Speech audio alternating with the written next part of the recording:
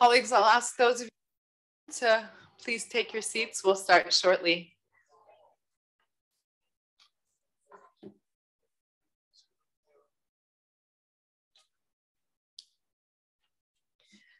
Great. Well, uh, a very warm welcome, both here in the room and online. Uh, I'm Rebecca Jovin. I'm the chief of the Vienna office for the UN Office for Disarmament Affairs. We're really delighted to have the special event in our Vienna Conversation series today um, with participation both here at the Vienna International Center and um, lots of uh, colleagues and friends tuning in online from across the world. So uh, I'm particularly delighted that this Vienna Conversation Series event is being hosted uh, in partnership with the Republic of Ireland and with United Nations Information Service here in Vienna. So um, we're really happy that we have a chance to uh, to use today for um, what has become uh, a series of discussions around different topical issues facing disarmament, arms control, non-proliferation. And today is no exception as we look at the issue of humanitarian um, disarmament and uh, look at the crucial role that humanitarian perspectives and principles have played um, historically and continue to play, and the importance that the UN Secretary General attaches to these issues, that our office, the Office for Disarmament Affairs, attaches to these issues, and the importance um, of these dimensions as we look at a new agenda for peace, a new vision for disarmament. So I'm really looking forward to a rich discussion today. And I'm really delighted also that we're doing this um, during uh, the week of our joint OSCE UNODA Scholarship for Peace and Security. This is a joint initiative of our office and of the OSCE that is now in its fifth year. And we have in the room uh, 44 wonderful, powerful, dynamic, inspiring women from across the region. Uh, we've already had a couple of days of really rich discussions and really thrilled that they can be here with us today. But um, it's also my pleasure to welcome and introduce our moderator and our great panel. Uh, first and foremost, um, our moderator and MC for today, Melissa Fleming, uh, UN Undersecretary General for Global Communications. Uh, many of you here in the Vienna community know her well. I'm sure many of you participating online know her well too. She almost needs no introduction, but I'll do it anyway and say a few words. Um, before taking her current position uh, in 2019, Melissa Fleming served uh, at the UN High Commission for uh, Human Rights as head for uh, global communications and spokesperson for the High Commissioner. And she was also spokesperson and head of media and outreach at the IAEA. And prior to that, she headed the press and public information team at the OSCE. So uh, very uh, much experienced in all the different um, organizations that are part of this event uh, today as well. She's a frequent interview guest on international media platforms and her talks are featured on TED.com. She's the author of a book, A Hope More Powerful Than the Sea, and a host of award-winning uh, podcast series, Awake at Night. I'm sure many of you have followed that uh, series. So we're really delighted to have you here, Undersecretary General. Um, and also our speakers, we have two of them in the room and two online. So I'll say a couple of words of introduction for them before I give the floor to uh, USG Fleming. So first, um, uh, I'd like to start again with, with our partners in this um, undertaking, the Republic of Ireland. We have with us His Excellency Ambassador um, Eoin O'Leary. Welcome, um, Ambassador.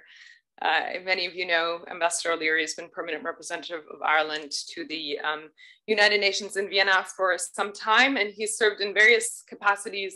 Before that, he's been ambassador of Ireland in the People's Republic of China, ambassador to, to the uh, Russian Federation, Kazakhstan, Kyrgyzstan, Tajikistan, Turkmenistan, Uzbekistan. He's been quite a few places. and he was also um, advisor to the Undersecretary for Multilateral Affairs and Human Rights in the Ministry of Foreign Affairs and Director General for United Nations organization in the ministry. Um, he was also Ireland's chair um, of the OSCE in 2012, um, and he chaired the Permanent Council of the organization. So welcome once again, Ambassador. Delighted to have you here. And we have joining remotely two colleagues, two wonderful colleagues, uh, Dr. Eirini Giorgou, she's a legal advisor, uh, arms control and uh, conduct of hostilities unit at the International Committee of the Red Cross, And Dr. Giorgou is a legal advisor um, in that unit where she works among other issues on explosive weapons in populated areas and nuclear weapons issues. And I'm sure we'll have a chance to discuss all of those uh, today. And Eirini has several years of experience in multilateral disarmament and arms control, diplomacy and negotiations, uh, also outside of the ICRC. And she's a licensed lawyer and holds a PhD in international law from University of Geneva. So welcome, Eirini, lovely to see you on screen. And also with us remotely is Pehr Lodhammar, Iraq Chief of Mine Action for the UN Mine Action Service. Um, Pehr has long uh, been leading actually this program for six years now. Um, he holds a bachelor in military arts and a master's degree in international co cooperation and humanitarian aid. He's a key advocate and supporter for the Iraqi mine action, uh, action sector, and he is often involved in coordination at the highest levels with the Iraqi government and UN family. And Pehr has more than 33 years of military and humanitarian mine action experience and has worked in various roles in 14 countries, so not just in Iraq. These include um, the Demo uh, Democratic Republic of the Congo, Eritrea, Lebanon, Jordan, USA, and Kosovo. So great to have you with us as well, Pehr. And we hope to, um, right now I think we can't see you, but we know you're there and we will see you uh, momentarily on the screen. And last but not least, one of our own uh, OSCE UNODA scholars for peace and security, and also one of uh, UN ODA's leaders for tomorrow, uh, Vanda Pros uh, Prošková, who's the vice chair of PragueVision Institute for Sustainable Security, and also um, the uh, co-convener of Youth Fusion. She's a fresh graduate of international law, and as I mentioned, she's one of uh, only 25 of UN ODA's leaders for tomorrow. This is our global um, initiative under our Youth for Disarmament campaign for engaging, educating, and empowering young leaders. And of course, one of our 44 scholars here in the room today. She is a sustainable security advocate serving as vice chair, as I mentioned, of the Prague Institute and co-convener of Youth Fusion. She's assisted with multiple platforms and programs um, uh, including the PNND Gender Peace and Security Program. And she's worked mostly in that capacity in the nuclear disarmament field. And she's also currently working at Humanity in Action. She wears many hats, as you can see, where she helps to promote the incredible voices of democracy, justice, uh, and human rights advocates in different countries. So welcome to Vanda as well. So with that, um, once again, really delighted to have you all here. And I will hand over to Melissa to take us forward. Thanks so much.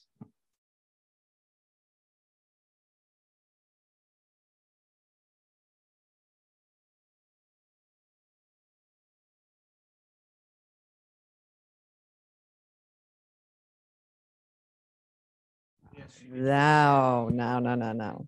Hello, everyone. Thanks so much, Rebecca, for that introduction and to, for introducing us to this important panel. Um, you know, in humanitarian imperatives and principles have long underpinned disarmament and also arms control efforts. Some of the earliest disarmament agreements established universal norms against weapons that cause unnecessary injury and also suffering. Going back to the 1800s, the St. Petersburg Declaration on Explosive Projectiles referred to the imperative of, quote, alleviating as much as possible the calamities of war. For some time, the Convention on Certain Conventional Weapons was colloquially referred to as the Inhumane Weapons Convention the inhumane. I think all weapons are inhumane. Um, it, today's event is an opportunity to hear from a wonderful group of panelists who were just introduced to you and to engage with all of you in the audience here at the Vienna International Center. Uh, welcome to all of you. And I think there are about at least 200 online who have tuned in. Thank you so much for listening in we really want to engage with you in a frank, interactive discussion on the role of humanitarian disarmament in advancing international peace and security.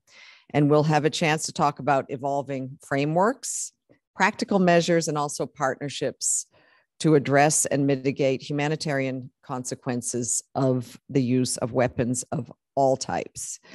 The United Nations Secretary General, in his report to the General Assembly last year, which was called Our Common Agenda, among many other things, but very importantly, called for urgent solutions to international peace and security that integrate human, national, and collective security as mutually reinforcing elements. His proposed new agenda for peace, and within this, his new vision for disarmament, will require bold thinking and fresh ideas. And maybe we can come up with some of them here.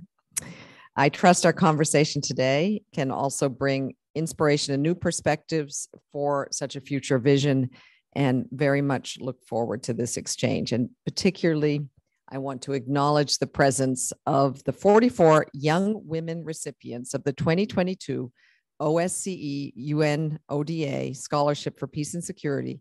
All of you are in the room today, and you're representatives of a new generation of leaders in this field. Maybe you can all stand up, the 44 of you who are.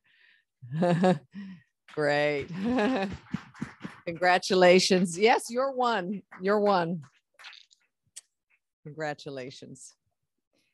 Um, and with that, let's get started. And I would like to turn our to our first panelist today, His Excellency the Ambassador of Ireland, Mr. Eoin O'Leary, permanent representative of Ireland to the United Nations in Vienna. Over to you. Thank you very much, Melissa. And you know, I have a specific question though.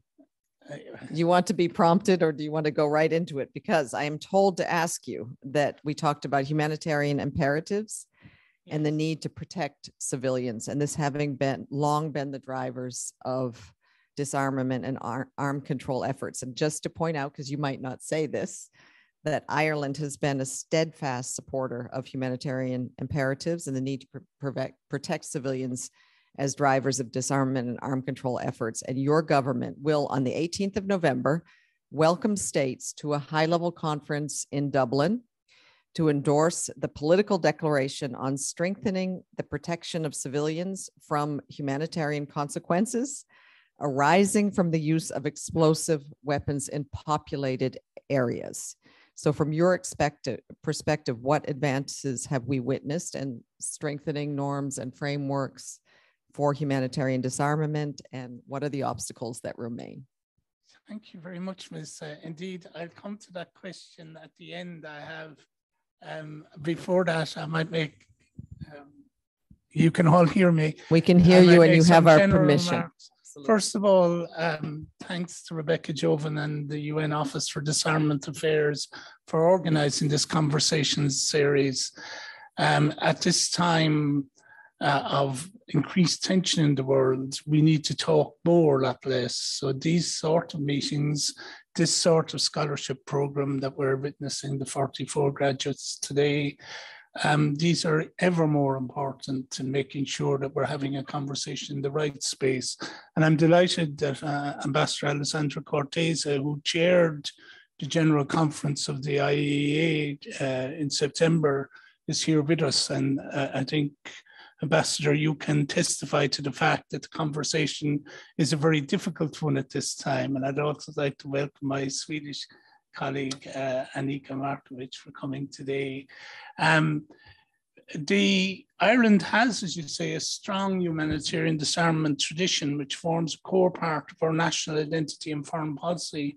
Indeed, promoting disarmament is one of our signature foreign policies. Uh, this afternoon, I'd like to focus on recent work in the two areas of particular humanitarian significance. The one you mentioned, which is explosive weapons in populated areas, and the other is nuclear disarmament.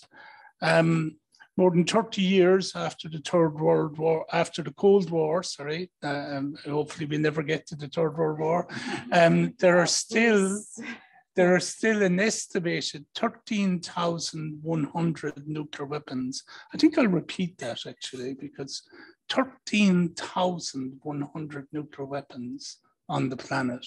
Because most of us think it's a handful, but when you put that figure down there, owned by nine states in the world, and this figure is likely to grow as the arsenal increases and modernization programs and the growing availability of nuclear technology uh, expands around the world. And indeed, within the IAEA, we're fighting to stop uh, proliferation, both in, in under the JCPOA, but also to uh, slow the, the, proliferation in the DPRK, for instance. Um, meanwhile, our understanding of the devastating humanitarian impact and development consequences associated with nuclear weapons has become much more sophisticated with a growing evidence base of the short and long-term harm caused to human life and health, the environment, biodiversity, climate change, amongst many fields. A nuclear weapons de detonation can not only cause massive immediate death and destruction, but in the aftermath, large scale displacement and long term damage to human health, the environment, infrastructure, and socioeconomic retrogression are among its catastrophic consequences. The impacts of nuclear weapons use are far beyond our capacity to respond, and so the only viable option is multilateral nuclear disarmament. Um, moreover, in today's heightened security environment, the threat of the use of nuclear weapons, whether by intent, accident, or miscalculation, is the highest we have witnessed since the end of the Cold War. Russia's illegal, unprovoked, and unjustified war in Ukraine, together with all its uh, nuclear, nuclear rhetoric and military actions that compromise nuclear safety and security, threaten to undermine the global nuclear disarmament and non-proliferation regime and provoke devastating human, humanitarian consequences. We have at the moment, for instance, four staff of the International Atomic Energy Agency in a nuclear plant in the middle of a war zone, which is a, would have been unthinkable a few years ago. It's a frightening thought that in the middle of a war zone, with shells landing left, right, and center, we have fully one of the largest nuclear plants in the world. Achieving a world free from the threat of nuclear weapons has been a long-standing priority for Ireland.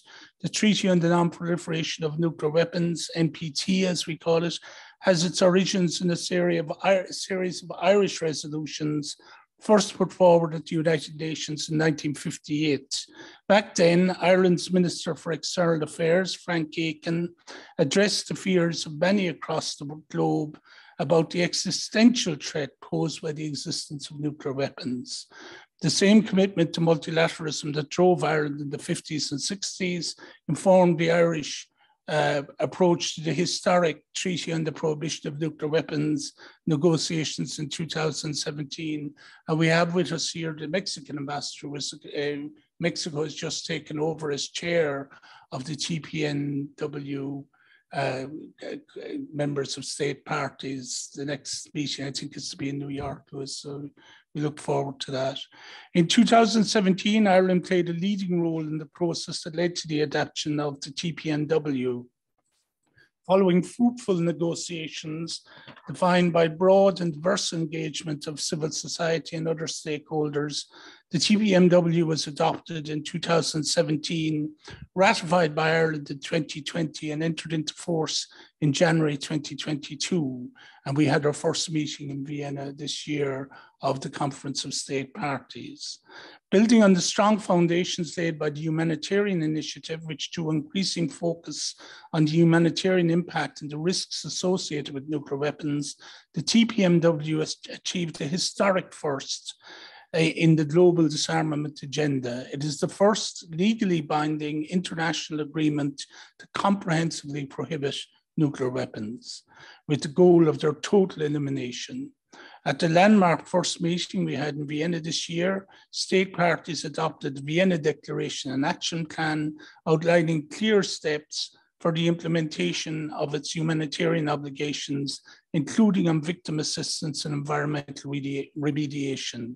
And we stress, all of us supporting the TPNW, this is not intended to undermine or replace the NPT infrastructure, it's intended to complement it because the NPT itself in Article 6 has a a, a, name of eliminating eliminating nuclear weapons, and we need to start taking this seriously. Or do we have to wait till that number is twenty six thousand or thirty nine thousand? So the the aim is to work with the entire global community, including nuclear nuclear weapons holders, uh, with a view to eliminating nuclear weapons over time.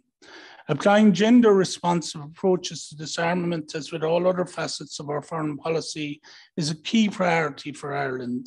Most recently, at the UN General Assembly's first committee, Ireland de delivered a state on behalf of nearly 80 member states from across all regions on the impact of strengthening and integrating um, a gender perspective across disarmament processes. The TPNW's recognition of the disproportionate effects of ionizing radiation on women and girls is a clear example of best practices in this regard. It is highly encouraging that discussions on humanitarian consequences are becoming more prominent and positive. We saw this at the 10th Non-Proliferation Treaty Review Conference with a large number of states from all regions calling for a strong reference to the issue. Unfortunately, we didn't agree a final document at the conference, but much of the language will act as a fund, as I say in German, a Fundgrube that we can draw on in years to come. It is vital that the issue of humanitarian consequences avoids polarization and remains evidence-based, allowing all states to have a shared understanding of these consequences. As we build this understanding, it is vital that states, including those who rely on nuclear weapons in their security doctrines, integrate these considerations into their national policies. Nuclear risk reduction, while urgent and important, can never be a substitute for disarmament, and a risk reduction, risk reduction discussions must be firmly situated in the humanitarian consequences framework. Risk, after all, is not just a question of likelihood, but also needs to take account of the magnitude of the consequences. And here the scale of consequences is devastatingly clear. If a, if a conventional explosive goes off by accident, it is a tragedy. If a nuclear explosive was to go off by accident, it would be an absolute catastrophe. Um, let me now turn to some of Ireland's most recent work in the field of conventional weapons, coming back to your question, Lisa, on the issue of the use of explosive weapons in populated areas. EWIPA, unfortunately, it's not a very catchy acronym. Uh, we'll have to to work on that. Uh, the world is becoming more urban, and unfortunately, we are also seeing as a result the increasing urbanization of armed conflicts. There is growing concern about the protection of civilians and the consequences of the use of explosive weapons in populated areas.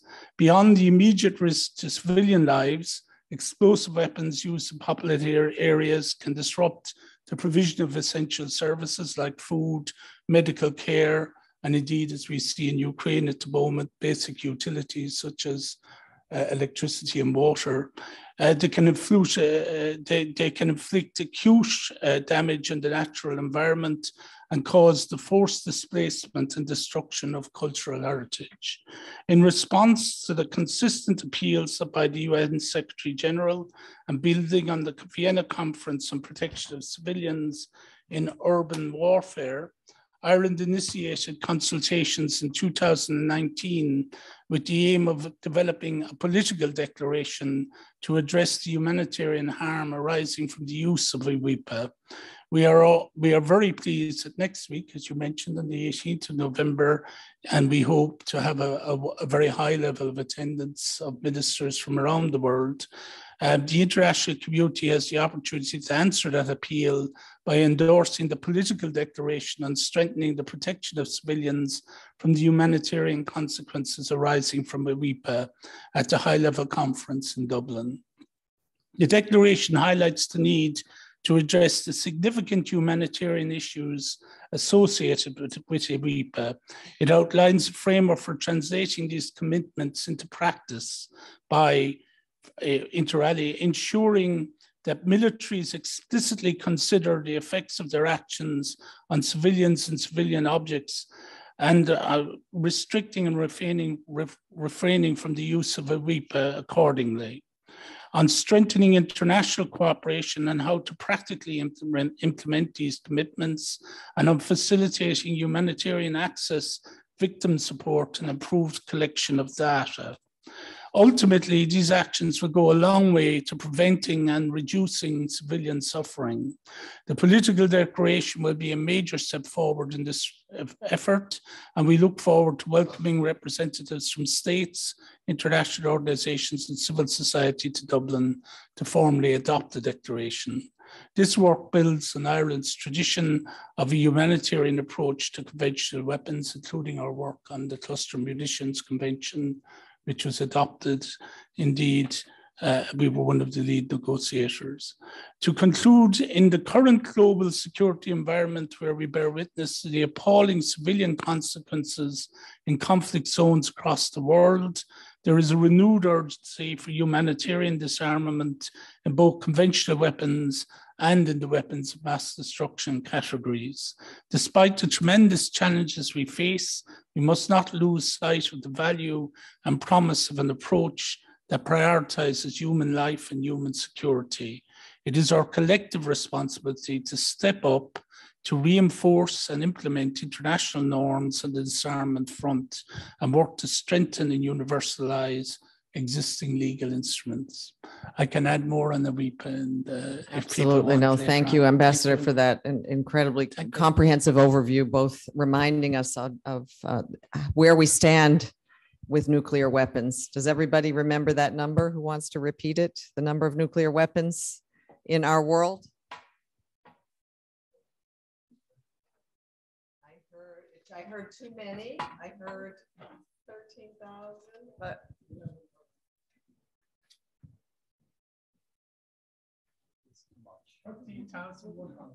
13,100. Let's remember that number 13,100 nuclear weapons, too many, right? And uh, also, thank you for introducing the, the um, concept of um, conventional weapons in, in populated areas. That is something that I think uh, the world has woken up to in the context of the Ukraine war, very much so, and all the efforts that um, that your country is is making. We'll watch what happens in Dublin. Um, and thank you, Ambassador. I'd like to turn next to Dr. Eirini Giorgou, legal advisor in the Arms and Conduct of Hostilities Unit at the ICRC. I'd like to hear how she introduces herself when she meets new people. Um, yes, so uh, this is, of course, um, in and of itself, a leading voice for humanitarian principles, the ICRC, and as well approaches to disarmament. Dr. Giorgou joins us from Geneva today. Good to see you. And just uh, my question to you is as a means, as means and methods of warfare have evolved over time, what consequences do you see for upholding international humanitarian law? Number one. And number two, how can the international community leverage and strengthen multilateral frameworks and tools as they relate both to weapons of mass destruction as well as conventional weapons. Thank you very much. I'm delighted to be with you, even if only virtually. So hi to everyone from Geneva. Thank you very much, first of all, for inviting the ICRC to take part in this important conversation. And thank you for your uh, questions, both very good and very important ones. So maybe to start by saying that to put things a bit into perspective, the purpose of international humanitarian law is, of course, to put limits to violence in armed conflict and to protect those affected by armed conflict. And so, in order to achieve its purpose, the law must apply in a meaningful manner to contemporary situations it aims to regulate. In other words, it must be fit for purpose. And so international humanitarian law, or IHL as we refer to it in shorthand, must evolve in parallel with how warfare itself evolves. This means it must evolve and keep track with advances in technology that have military applications. Think of artificial intelligence, think of human enhancement, machine learning, and so on it has to also evolve in parallel with the development of new means and methods of warfare, new weapons and tactics. Think of autonomous weapon systems, for instance. But also in other cases, we have centuries old tactics of warfare like sieges, or as Ambassador O'Leary mentioned earlier, heavy explosive weapons that continue to be used, but the environment has changed as the world becomes more and more urbanized. So the suffering of civilians multiplies. So in this case, we have the same old weapons, but a different environment, and still the law must regulate this changed reality on the battlefield. So how to achieve this? Um, sometimes this may require that the law develops. Either the interpretation of the rules is clarified or expanded to apply to these new situations, or even new law is created when there's a gap. And in any case, uh, the objective is to either prevent the civilian harm that is caused by these new weapons and tactics, so like preemptive legal regulation, or at least to respond in a timely manner. And this is by no means an easy process, um, and the evolution of warfare poses a number of challenges to international humanitarian law. First, it's not always straightforward to determine whether we do need new law or we need better respect for existing law. This is the first challenge. Another challenge uh, refers more to substance. For instance, autonomous weapons. They challenge the very fundamentals of law and ethics, including accountability, human decision making. Uh, so IHL as it exists today is insufficient to address the problems these autonomous weapon systems pose. And this is why the ICRC in many states have called for new law in this respect. Then uh, the main challenge in creating new law, as we all know, of course, is current inter international dynamics and frankly, the lack of appetite among states for uh, new lawmaking exercises. And the rule or practice, depending of consensus, further complicates matters, as many of us unfortunately have seen time and again, those of us working on multilateral diplomacy at least. There's also often disagreement among states on how the law is to be interpreted and applied. I spoke earlier about old weapons and new realities. So in some cases, what it means and what it takes to respect the law today is different to what it meant and it took to respect the law, for example, half a century ago. Explosive weapons in populated areas. Urbanization has made their use in compliance with IHL more and more difficult although the weapons themselves are not new, or nuclear weapons that Ambassador O'Leary also spoke about. These are also old weapons, but today we know a lot more about their horrific consequences than we did know in 1945. And so today we can with absolute certainty that it's extremely difficult that nuclear weapons could ever be used in compliance with international humanitarian law.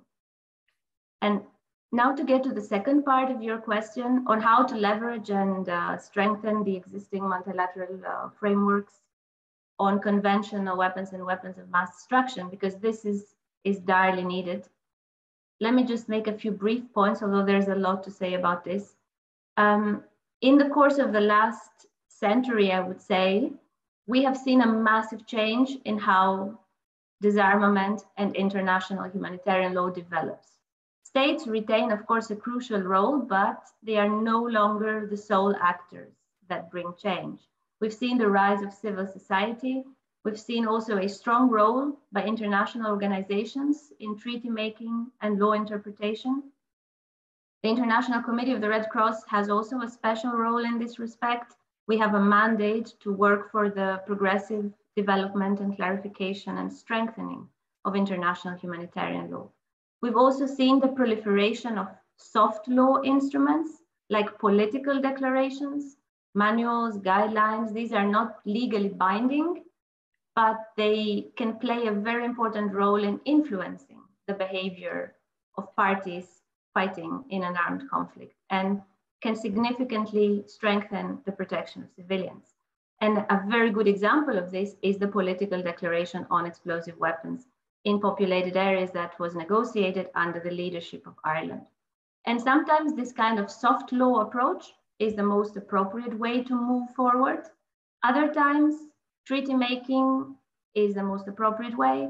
And despite the current climate, I would say it is still feasible and should not be discarded as an option. And the entry into force of the Treaty on the Prohibition of Nuclear Weapons proves how possible it is, even in the most difficult circumstances, um, to conclude a new treaty.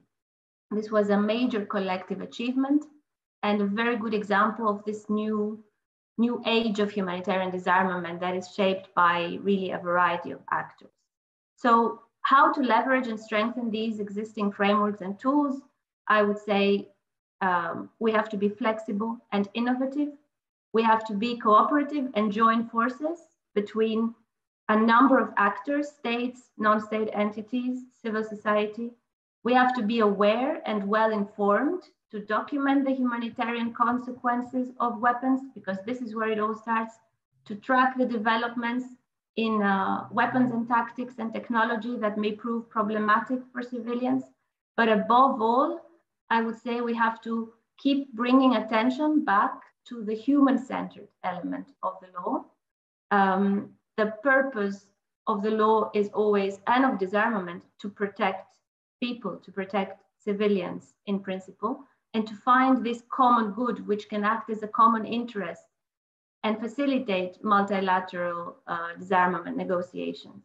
And of course, uh, and this is my last point, to be optimistic because it's true that moving ahead, especially in the current climate, is difficult. There is never an ideal moment for uh, international humanitarian law development, but I think somehow it always finds its way. Thank you. Thank, thank you so much. Um, and also thank you for ending on a little bit, a note of, of hope, because um, I think your point also that we're, I think both you and Ambassador O'Leary mentioned that it really is all about people in the end. And maybe that's how we need to, to frame it. It's not the weapons, it's the people um, that we need to be focusing on.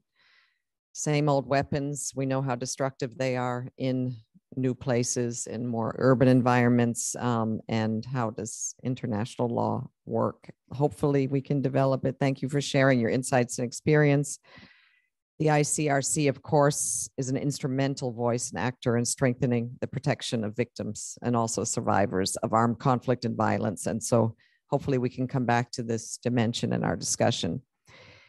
And I'll use this as a good segue to turn to our next speaker, um, the UN Mine Action Service Program Chief in Iraq, Pehr Lodhammar. Um, I know this issue is close to your heart. And it, when may I ask you, when it comes to operating, operationalizing humanitarian disarmament approaches, what have been the main challenges you've witnessed in the Iraqi context and in humanitarian mine action more generally?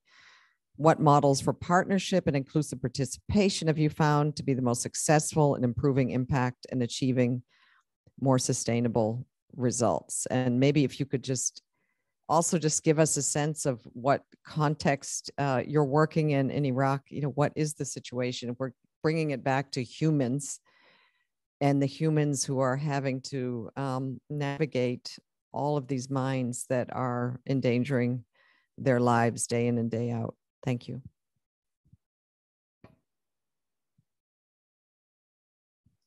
You are on mute, Peter. If you could just click that.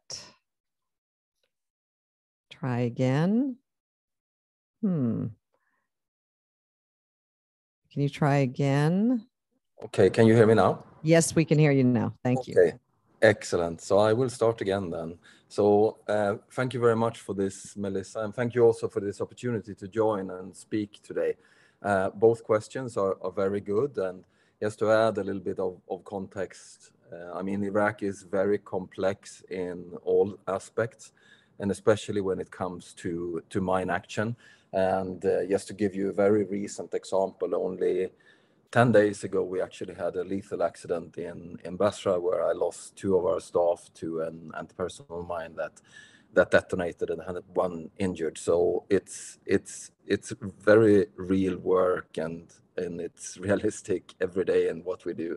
And then to add of that to that, of course, now we have a government, but we have we are dealing with a very po difficult political situation uh, also, and security on top of that. So uh, it's complex, uh, but challenging, but also enormously rewarding. I think in, in terms of main challenges in Iraq, they have been technical in nature, in that when we first commenced clearance of unexploded ordnance after ISIS had been defeated, or actually correction, in fact, already before they had been defeated, we encountered explosive contamination that mainly was improvised in nature and that had been manufactured by the Islamic State. We found uh, improvised explosive devices, and it was said from the beginning when I was introduced by Rebecca, I worked in the sector for, for 32, 33 years now, and we found devices in quantities and with a complexity that I have never seen and that we as a community have never seen previously in the mine action sector globally. And this mainly in an urban and built up environment and with enormous amounts of debris and human remains mixed with a multitude of explosive items, thousands of them. In one location, only Al Shifa Hospital in Western Mosul, we cleared over 11,000 items of explosive ordnance. In this environment, one of the key challenges when we first started almost six years ago, it was to quickly train and establish national capacity. National capacity not only technically qualified to safely remove and clear explosive hazards, but that also had the prospect to become sustained financially and with women and men working side by side in all types of roles and on all levels. The last part proved to be a major challenge, not only because of social norms in Iraq, but also because generally the mine action sector globally has always traditionally been male dominated. And most of us come from the military, we come from the, the police, and that has been reflected, unfortunately. Uh, this is a challenge that we have, however, overcome through a lot of hard work with our implementing partners and engagement with government of Iraq. And it has actually proved to be an opportunity also, because when something is bad, we can only improve it. And I think we've done that really well in, in Iraq. For the sector, the mine action sector as a whole, a key challenge, I believe, is to maintain the momentum and donor interest to ensure that mine action programs remain sufficiently funded and preferably with multi-year funding so that capacity, such as the one I'm about to describe in a minute, can be trained and also retained. Another challenge is to encourage and ensure that affected states themselves, as soon as they can, financially contribute through transparent state budget allocations for national operational capacity. In response to the second part, I will briefly elaborate on the model we have opted to use in Iraq, the partnership model as we've labeled it. This model has been designed to create and build national capacity that will, in the long term, be localized, autonomous, and fully self-sustained. To achieve this, we have over the last two years provided international NGOs with grants under which they have to partner with Iraqi national NGOs and build the capacity of the national NGO for a period of three years. We're now going into the third year uh, in, with this model. The model is including financial support and mentoring and training of the national NGO within eight different areas, including management, programming, operational and technical skills, support services, quality management, leadership, risk management, and resource mobilization. And with this model, we aim to have two fully uh, independent national NGOs uh, operating by mid 2023. Important has also been to include gender mainstreaming as a common theme in all activities.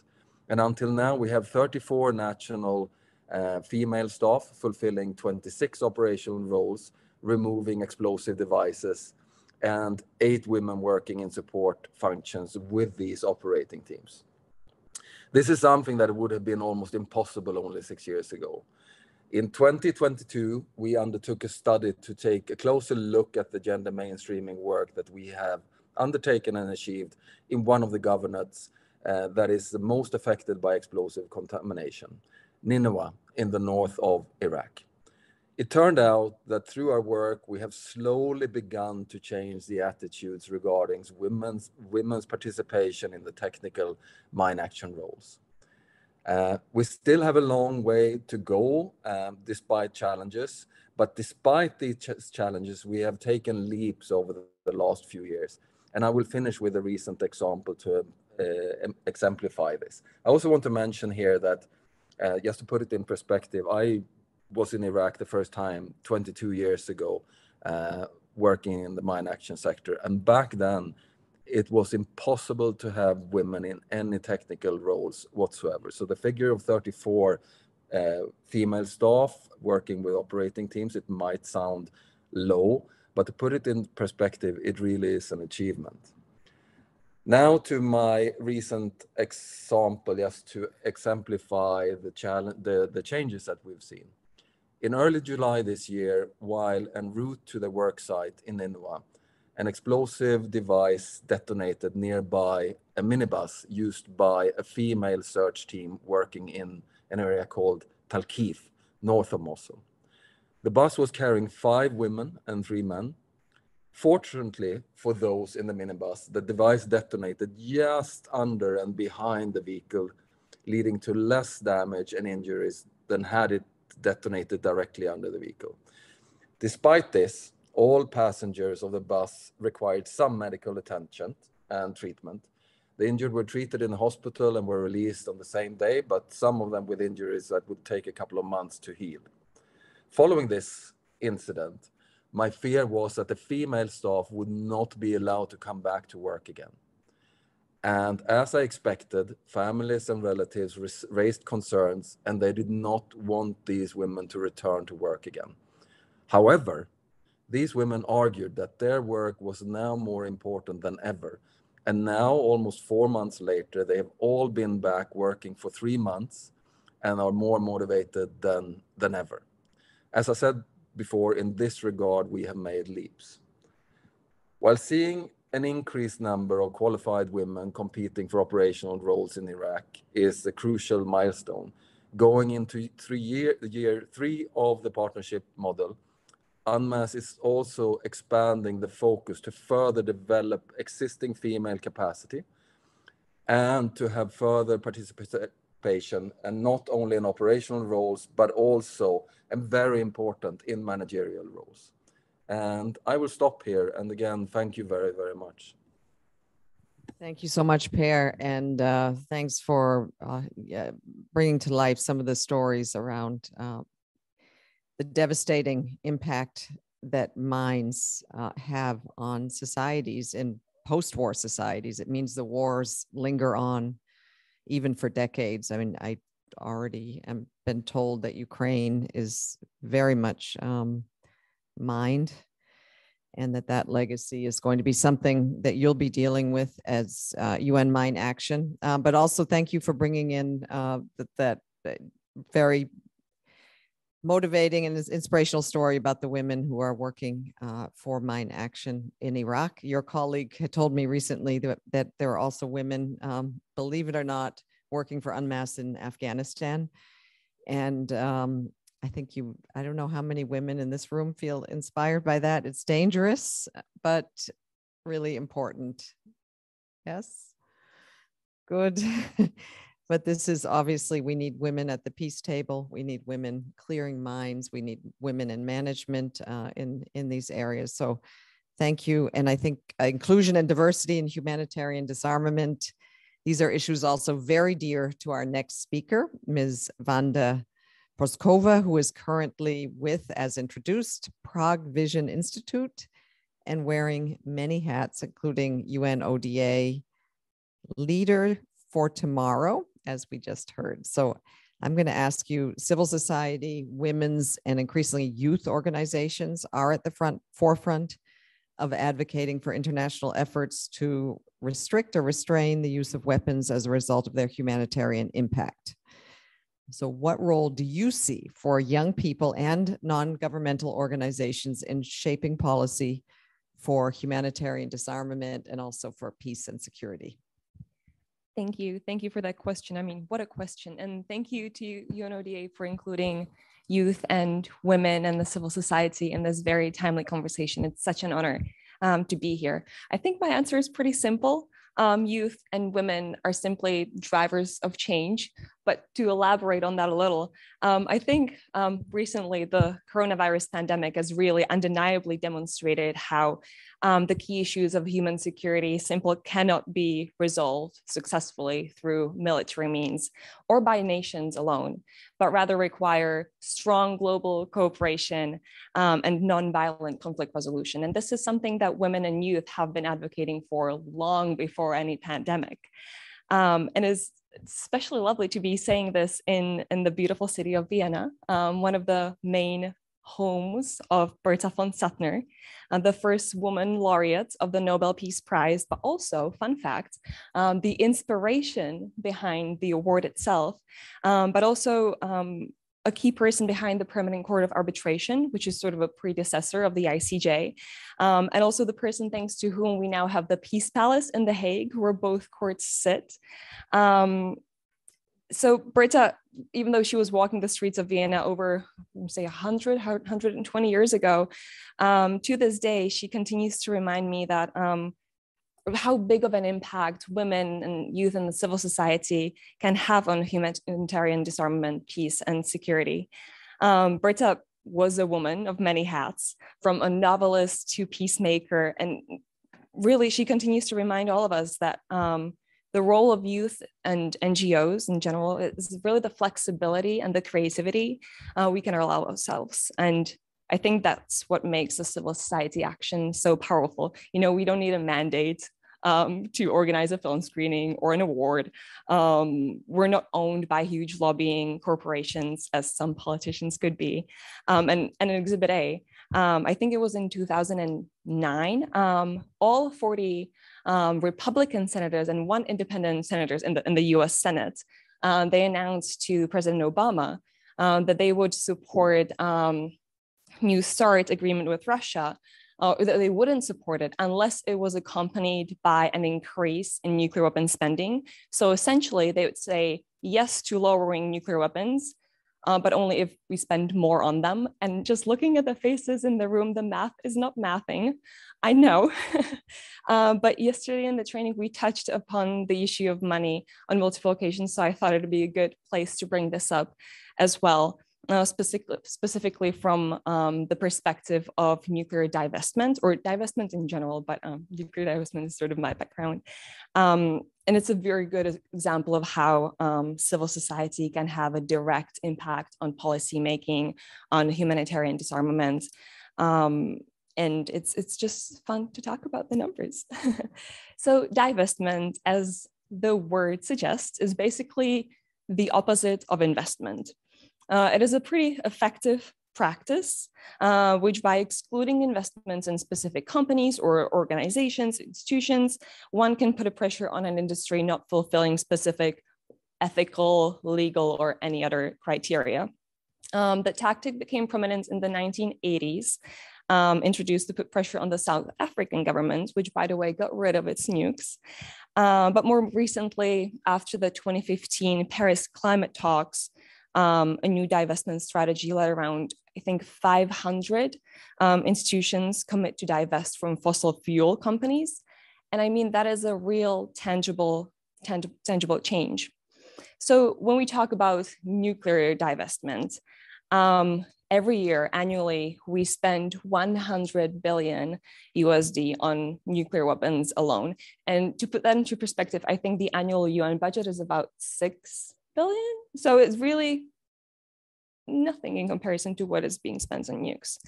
Um, and just for a second imagine what could be achieved in, in your communities if we spend just one one second of the nuclear weapon spending on something something we truly need.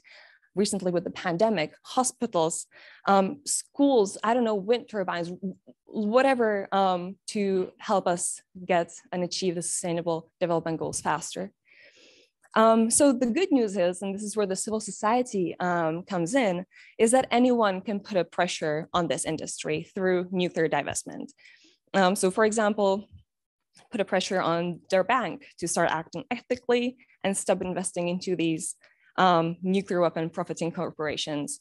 Um, if that's something that interests you, um, Don't Bank on the Bomb does fantastic research on, on how what, what banks do well and, and what don't. Uh, but we can also write letters to our universities or churches with investment portfolios or put pressure on whole cities and governments um, that have, for example, pension funds. Uh, here, Move the Nuclear Weapons Money campaign can help you with that. And it's pretty amazing because it works. Good examples of um, cities are, for example, Hanover in Germany or Cambridge in, in Massachusetts in the States. Um, but even whole governments, uh, such as Switzerland or New Zealand, have adopted policies that prohibit um, investments into nuclear weapons and really putting a punch into the nuclear weapon industry, which is which is pretty great. Um, I think to go back to the question, youth and NGOs are also incredibly good at thinking outside of the box um, and bringing attention to the matter and often you know, giving governments the push they need. Uh, I mean, we've seen this with the TPNW, for example, recently. And they're also being very creative with it, uh, which is why I enjoy to be part of the civil society. Um, for example, we've got with Youth Fusion an upcoming project titled Nuclear Fear, which is telling true stories about the eight decades of nuclear madness um, through an animated film, but also an interactive platform in multiple languages and really focusing on the real impact the, the nuclear chain has had on, on humans around the world. Um, so it is an incredible, society is just an incredible powerhouse. So to conclude where we started, um, just looking at the time, I know um, we should we should go to the um, dialogue part of this event, but really young people and civil societies truly are the driving change. Um, without their efforts, energy, advocacy, um, activism, um, this world would simply be stuck, I think. So thank you for bringing the youth, the women, the civil society into this conversation. Very honored to be here. Thank you so much, Vanda. Uh, um, nuclear divestment. I think that's something that we can all get behind. And I, I, it's really interesting to hear those examples of what is happening. I think we've heard similar examples around fossil fuel, but not very, not very well known around in the nuclear space. So thank you for injecting that, um, those, those, those examples and also um, a role model. Can you say her name again from because I don't know if everybody caught it. Okay, y'all. Berta von Suttner, the absolute role model. Um, she's published her novel "Lay Down Your Arms." Um, the first Nobel. She was the. She's, yeah, she's on, on the, the, two euro Austrian coin. Mm-hmm. Okay, mm-hmm. Berta von Suttner. Yeah. The love lay down your arms. Alfred Nobel. okay, the love interest of Alfred Nobel. Okay, we even have good. You're full, full of fun facts. So thank you, and uh, that that helps. So thank you everyone for listening so intently to all these angles that we've had um, introduced to us. And now we'd love to open the floor to you. And if you would then identify yourself and uh, direct your question, say who you'd like to direct your question to.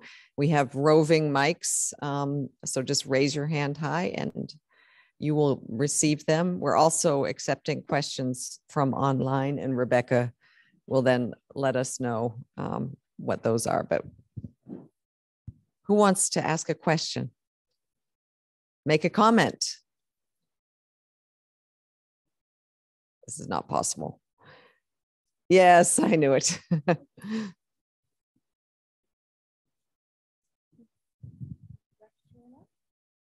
okay, thanks. Um, I just had to say that I smiled at your reference of Bertha von Suttner because it's someone I have worked on a lot. Um, I'm Elsa, by the way, I'm one of the scholars for peace and security. And there's a great book called The Women Behind the Nobel Peace Prize. It's an author that I've worked with a lot. She's a Norwegian author, but it's available also in English. So if you want to know a bit more what she's talking about, um, that's a great book to read. Um, so I don't know if I really had a question. I just uh, jumped at the opportunity to say to say that. Um, what she did, um, allegedly, according to two letters that, that had been analyzed, is she inspired Alfred Nobel, who was um, the inventor of dynamite, and he had a very realist perspective on um, on the world. So if, if, if one country is armed, others must also be to to deter each other. And she really believed in, in peace congresses um, as a counter to that. Um, so I think, is there any way to sort of um, um, disarm everyone without? I mean can we really disarm one um, and then still feel safe? Or mustn't, mustn't we disarm everyone at the same time? Is there anyone that really will take that first step um, towards nuclear disarmament? How can we really um, is there hope for that? I i hope the answer is yes. And please uh, yeah that's a very good point, and I look forward to reading that book because I've always been interested in Bertha von Suttner. Um, herself and the two uh, Irish peacewomen, uh, Mairead Corrigan and Betty Williams, stand out as people who, women who push for peace in a difficult time. Yes, of course, disarmament, unilateral disarmament is very difficult, um, which is why we do political declarations like EWIPA and so on. I think the, the key point is to create a space where people can engage with the idea of disarmament. For instance, when Frank Aiken originally proposed his Irish resolutions in the late 1950s, it was seen as rather quixotic. You know, it, this was at the height of the arms race. And then you had the Cuban Missile Crisis, and people said, oops, this might actually end the whole shebang my parents, for instance, I was three and a half in October 1962, and I have a memory of my parents talking about staying up all night during the Cuban Missile Crisis, waiting for the American president, you know, to tell us whether there would be a war tomorrow. And out of that, then, I think, uh, and other impulses, people came and developed the NPT and the New Start and the the disarmament agenda that's there in the nuclear uh, sphere. It's not effective enough. It's not good enough. But the important thing is that people like NGOs, people like the experts, had been working in the background. It's like EWIPA didn't come out of a vacuum. There had been a long series of, of initiatives by Germany and many others um, you know, uh, the UNGA First Committee joint statement, and that created a space where you could reach a political declaration. One of my great regrets in the OSCE, when I arrived as ambassador to the OSCE in September uh, 2007, the uh, Convention of Forces in Europe treaty, which was one of the most advanced and effective conventional disarmament treaties ever negotiated on the planet was suspended by Russia at the time. And at the time, there was a view we'll be suspended for six months and then we'll come back to it. And there were efforts uh, culminating in a very concerted effort at the Astana summit in 2010 to revive the Convention of Forces in Europe Treaty, which had very strict limits on the number of weapons you could have east of the Ur- west of the Urals, between the Atlantic and the Urals, and so on, the number of armed forces and so on. And they failed.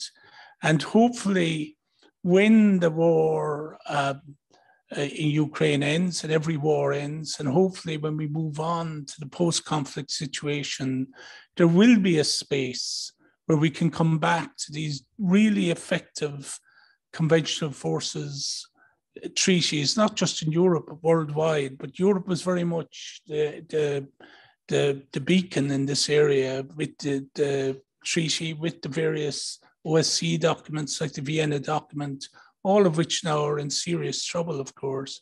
But, you know, out of this conflict, those of us who work in disarmament should be ready to push again the buttons to get across to people that if you have a lot of guns and you have a lot of bombs and you have a lot of soldiers, there is a real danger somebody is going to use them. And the best way to avoid that is to reduce the number of guns and weapons and soldiers. As you say, it's very difficult to do that unilaterally. Um, I, am an eternal optimist. For instance, the Helsinki Final Act came uh, only uh, uh, seven years after the Soviet, the occupation of Czechoslovakia in 1968. So hopefully in seven years' time, we will be talking about a new wave of uh, conventional and nuclear disarmament across the planet. Thank you. Let's let's hope, and maybe even before seven years. Yeah. Let's open the floor again for further comments, questions. Yep.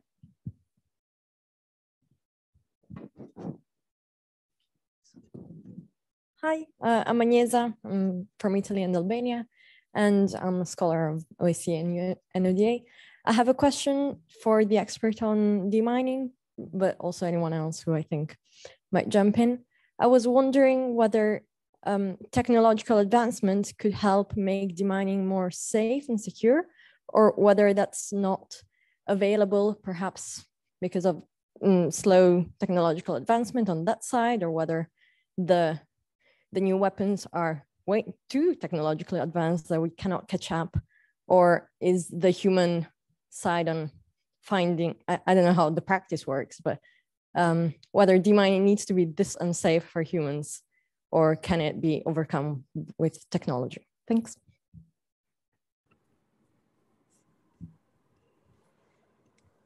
Per, are you still there? I, I'm still here. And uh, can you hear me? Yes, we can. Okay. Yeah. So I think, first of all, with each new conflict, we see a new threat. Um, to some degree, at least that the threat is changing. And in the case of Iraq, we saw that conflict had completely almost moved into urban environment. Uh, it was mainly improvised and still is improvised explosive devices, um, and in combination with a lot of other challenges. Uh, when it comes to the technology that we're using, it is really very much the same that we use in 1945, 1946 with handheld metal detectors that have developed. They're more comfortable now. They're more sensitive in that they're picking up smaller metal amounts and to a greater depth. Uh, mechanical equipment has developed, but it's still not very different from what we used then. We're using animal detection systems with rats, dogs, and uh, and uh, other types of other animals but other than that, it hasn't changed that much. The, the biggest change lately, I would say, is that we have ground penetrating radars that are combined with metal detectors. That's probably one of the biggest advancements over the last 10 years. And then that we're starting to use flying cameras or drones much more, not in a detection role, but in a role where you use them to gain insight. You, you can fly into buildings, you can fly over areas and get a better overview. Uh, but it's it's a it's a very valid question, and I think we need to to look at especially drones how we can get them to carry detection systems and combine detection systems also. Uh, I can see that in in Ukraine, and a challenge there is going to be the massive amount of burnt out um, uh, uh armored vehicles, uh, tanks, uh, armored personnel carriers. A lot of them have ammunition inside of them. We're talking thousands of them. And that in combination with a lot of new technology that has been used there as well in terms of, of landmines, in terms of missiles, etc. But the advancement, it, it's slow, it is. Uh, and I think we also need to look beyond technology. Uh, for the mine action sector as a whole, the biggest advancement has probably been that we are much better at reducing huge areas and confirm that there are no explosive hazards. Release land, we call it land release. Uh, in doing so. So we become better at collecting information and then translating that into contamination or no contamination instead of clearing big and large swaths of land where there is no contamination and deploying men and women and equipment that is very expensive to use. Um, but we need to continue. We need to uh, to advance when it comes to technology. Thank you very much. Thank you, Per. If I may, a follow-up question for those, maybe just to have a little amusement here. For those of us who don't appreciate rats very much, can you please tell us about the role of rats? How do they detect landmines? Yeah, absolutely. Uh, so there's only one organization who's using them. It's an, uh, a Belgian NGO. They're using them in a number of countries. It's a giant pouched uh, rat that is used uh, because of its size, but the rat will detect just like any other animal detection system using uh, its its nose as a sensor and it will be trained on different types of explosive compounds and then it's working together with a with a rat handler of course it's not as attractive as being a, a dog handler maybe uh, but it is a system that is working quite well uh, unfortunately many donors are, are reluctant in funding uh, rats, but but they've made a lot of progress, and and rats are working really well, and it's a very cheap system also. Uh, they're very easy to bond with. They they they're easy to feed, cheap to to feed, and they they live for a long time and very sociable animals also. Uh, so it's interesting. We'll see where it goes and where it ends in, let's say, five or ten years. Thank you. We need a new appreciation for rats, obviously. So thanks for that, Per. And uh, Rebecca has a uh, question that came to us from our online audience. Yes, we actually have a couple. So if you'll bear with me, I'll, I'll um, throw a couple out here and our panelists can think about this as well as they um, think about other issues they, they want to conclude on. So we, we have a couple um, uh, one from uh, UNECA fellow from Chad, uh, Kinga Nadesh uh, Kular, who asks, how can civil society organizations from the South, from the global South, contribute to global disarmament efforts? I think that's a really important question as we talk about uh, the global efforts and uh, uh, cross-regional efforts. Um, also, one of our former UN youth delegates for Ireland and, and also a fellow has asked about um, how we can empower young people in the areas of disarmament. Vanda, you already gave us a couple of uh, ideas, but how can we have their voices and experiences heard in the humanitarian disarmament discussion? And then um, finally, uh, Rafael Moreto, uh, researcher with the uh, Strategic Hub for Organized Crime Research and the Royal, Inst uh, Royal United Services Institute for Defense and Security Studies, is asking a two-part question. Um, uh, one on uh, looking at you know the evolution of the realities that we've just discussed and heard from our panel um, and uh, looking at actually revising and then advancing humanitarian disarmament. First of all, what do you uh, panelists see as best practices to replicate? And then perhaps a bit on the flip side of things, how do we also work against some of the negative trends, such as those that have to do with the diversion of uh, humanitarian aid or uh, illicit uh, diversion uh, or use of weapons um, when delivered in communities that may um, uh, be uh, be um, uh, dominated by um, by conflict or uh, within regions that are um, controlled by warlords or other uh, non-state actors. So how do we deal with some of those challenges to avoid um, a per perpetuation of armed conflict and violence? So a lot of questions going a lot of different directions, but some food for thought, I hope. Thanks, Rebecca. I think what I would suggest is because we have 13 minutes left that we do one last round of our panelists to to see if you feel that you can address all of those questions or at least some of them and any any last thoughts that you'd like to deliver. And i'm going to go to vanda first because i'm going to go in reverse order. Over to you. All right. So just to address some of the um, the questions from um, the online space uh, well just going to wrap up at Youth Fusion, but we're a global network um, for not just youth, but also the not so young, um, but also organizations. And we also work with people from the global south. So um, youth-fusion.org slash join. Um, as to youth empowerment, I mean, there's this, this time many, many, many fora that um, young people from the global south can, can join as well. Um, on youth empowerment, um, we've talked about education and the training as well but also bringing young people to the table i think these days it's so so important to also promote the fact that it's not just you know the professionals and the young people but the young people now can be the experts as well. Um, so really keeping up with that um, and giving them the space um, they they deserve. Um, and finally you know um, as a, as a, as a, as a young person. Um, sometimes we simply do need help. We need we do need the help from the people in the in the current um, seats in the offices. Um, so yeah support young people in, in your networks. And again thank you to UNODA for for supporting you through um, youth um, for disarmament and other spaces. Um, there are many options for young people to get involved these days. And just some final uh, final thoughts on uh, to conclude. Um, accessible disarmament education, I think, would be a good um, final thoughts to to conclude on. We can learn from New Zealand, and we can learn from the Marshall Islands. It works. We just really need to push for, for, for it.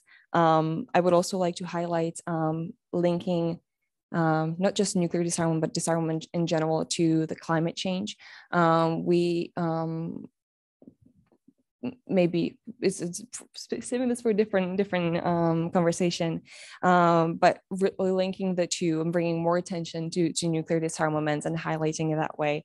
You know the, the famous quote that war fuels climate change and climate change fuels war. So a lot of that. And then just thinking outside of the box um, so thank you for doing precisely that um, for creating these new ways to involve the youth women um, civil society um, and thank you for having me. Well, thank, thank you, Vanda. And uh, I think your point about eh, not just in, including youth and women as, as a kind of consultative mechanism, but really we need your expertise. Um, and I think we got a lot of expertise from you. Any tips you can give our colleague from the Global South on how to get involved? But with, with what we saw with the, the youth climate movement, um, we have many Gretas uh, in the global south um, who are amazing activists. And then your link uh, your linking um, climate activism uh, with disarmament i think is it's very interesting. It is about protecting our planet and it's all about protecting our humanity. Um, so yeah there are huge links and we feel i think as as adults and those who've been in the space for many years that we we need energy we need a movement and we need involvement of um, of everybody. So thank you for what you do. Um, I, I think I'm going in reverse order. is my memory is correct, it's Per Per is next. Do you have anything you'd like to add uh, from those three online questions, or just one final thought, Per Yeah, ab- absolutely. So just on the last question that that was posed very very quickly. So Iraq, we as a, as a country, they are a state party to the Anti-Personnel Mine Ban Convention with a deadline of 2028. They will not, in my view, be able to achieve this uh, because the, there there is multi-layer contamination in Iraq from the Iran-Iraq war along the whole border, the two Gulf wars, and then internal conflict, and now lately the conflict with with uh, the Islamic State. So that will not be possible to achieve, unfortunately. And ultimately, uh, it is a governmental responsibility. It's a, it is a responsibility of the government of Iraq, and we are there to make sure that the government of Iraq can achieve the deadlines that they have uh, that they have subscribed to. Uh, and then the the last question about women in in mine action and mine clearance. I think there are only opportunities, to be honest, but the biggest challenge is probably that many of the men have the um, training and the skill set from from the army and from having done this in in the past uh, so bringing them up to senior technical level is probably one of the key challenges thank Thank you. Thank you very much, Per, and thank you very much for participating from Iraq and for all the important work you do in keeping the population safe there. Um, so let's move to ICRC again. Dr. Eirini uh, Giorgou, would you like to respond to anything you heard or any final thoughts? Sure, thanks a lot. Um, I wanted to add one element in response to the question about best practices in advancing disarmament. And I'd like to say that uh, in my perspective, it's very important, in addition to engaging civil society and, of course, youth, the younger generation, it is very important to engage also survivors. Um, and by engaging, I mean really engaging the communities affected by the different weapons whose effects we are striving to prevent or redress in designing the responses and the, um, the frameworks of victim assistance. And this is because certainly for the ICRC, but also for many states, it's very important to have those affected by these weapons not just as recipients of victim assistance, what we call victim assistance, but also as active participants in uh, those frameworks of assistance and using their experience to better to better um, address the humanitarian impacts of these weapons. So engaging survivors um, has been crucial so far in the in the field of nuclear weapons and uh, also a number of other weapons like landmines and cluster munitions. And then maybe a point to the question on how to prevent the diversion of humanitarian aid. I mean, this is a very hard question. And as ICRC, obviously, we are faced with a major dilemma in this respect. On the one hand, humanitarian aid needs to reach those uh, civilians um, and others that are in dire need for assistance. So we cannot just stay out of certain contexts because there is a practice or a risk of diversion. We have to keep trying to reach those people. From a legal perspective, there are, of course, very clear rules about uh, what states and non-state armed groups can and cannot do in order to ensure that the, the aid reaches the people in need. But uh, the point I wanted to make is that those states that support the different parties to armed conflicts, whether through military alliances or other forms of support, be it weapons or financial or other support, they have an important role to play in exercising influence on those parties, also in terms of influencing them to allow essential humanitarian life-saving humanitarian assistance to reach the people in need. This is why these support relationships and partner operations are gaining more and more importance in our days. And so it's essential that um, those states engaged in those partnered operations, those support relationships, also exercise their influence in this respect. Thank you so much for those thoughts. Uh, much appreciated, Eirini. And last but not least, Ambassador, the floor is yours. Turn us on. Um, yes, uh, on the use, uh, I think the onus is on governments to ensure that youth are represented. We managed during our membership of the Security Council to bring the CTBTO to the Security Council. It was the first time, apparently, the executive secretary of the CTBTO addressed the Security Council, uh, as did Izumi Nakamitsu, as the head of UNODA.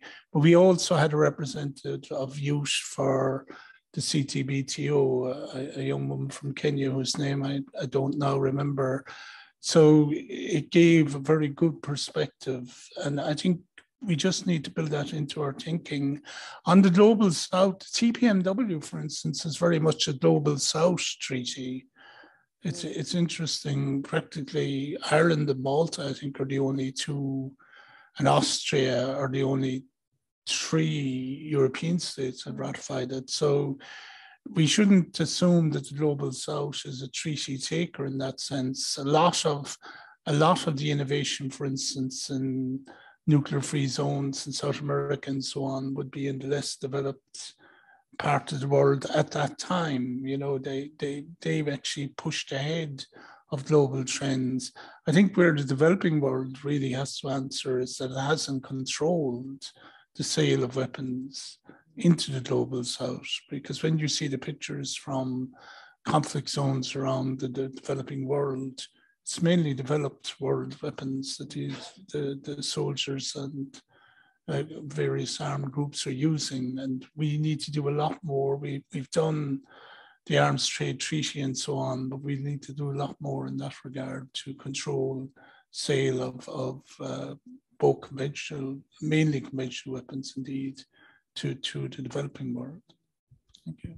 Thank you so much, uh, panelists, ambassador, colleagues in the room and online. Um, thank you for listening and taking part in this incredibly rich and thought-provoking discussion today. And it's, for me, it's been really also educational and inspiring um, to be your moderator. So I hope we can continue this kind of exchange and let's all work together toward a vision for disarmament that puts people and our common humanity at the center my appreciation to UNODA, the Republic of Ireland, and also UNIS Vienna, as well as to our distinguished panel. Thank you so much and all the best.